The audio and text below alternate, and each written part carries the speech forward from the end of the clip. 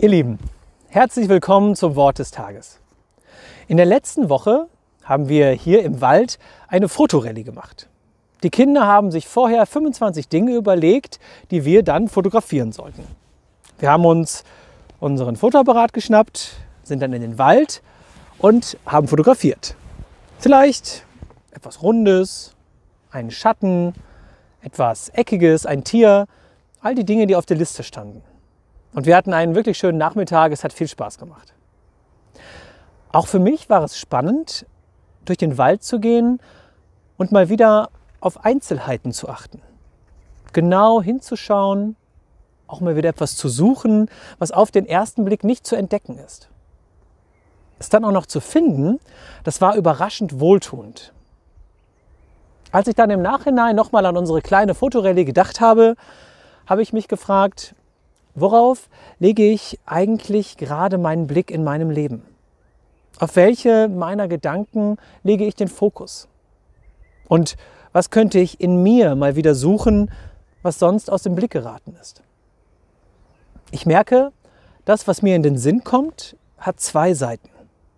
Da sind auf der einen Seite viele unschöne Gedanken, so als ob sich kleine Monster in mein Denken einschleichen und Ängste und Sorgen hervorholen. Was ist, wenn noch alles viel schlimmer kommt als jetzt? Was ist, wenn meine Lieben wirklich krank werden? Was ist, wenn wir noch viel länger auf Distanz zu unseren Mitmenschen gehen müssen? All das treibt mich dann um. Doch auf der anderen Seite entdecke ich auch viel Positives und ganz viel Zuversichtliches in mir. Da sind dann vor allem Gedanken an meine Glaubenserfahrungen, die ich in der Vergangenheit gemacht habe.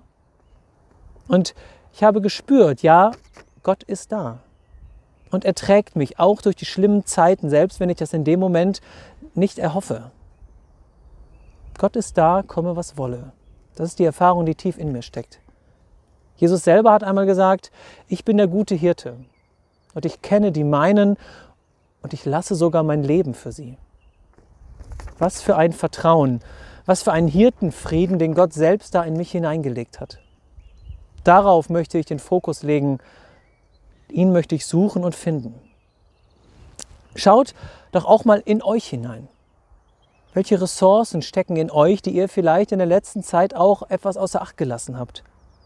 Welche Ressource hat auch Gott in euch hineingelegt? Mir hilft in der letzten Zeit ein schönes Lied. Da heißt es, sei still, mein Herz, sei still und vertrau auf deinen Gott der deine Wunden kennt, sie verbindet und heilt, der deine Monster zähmt und sie für dich vertreibt. Ich habe mit Tobi das Lied aufgenommen, vielleicht hört ihr gleich einmal rein. Ich wünsche euch alles Gute, bleibt behütet.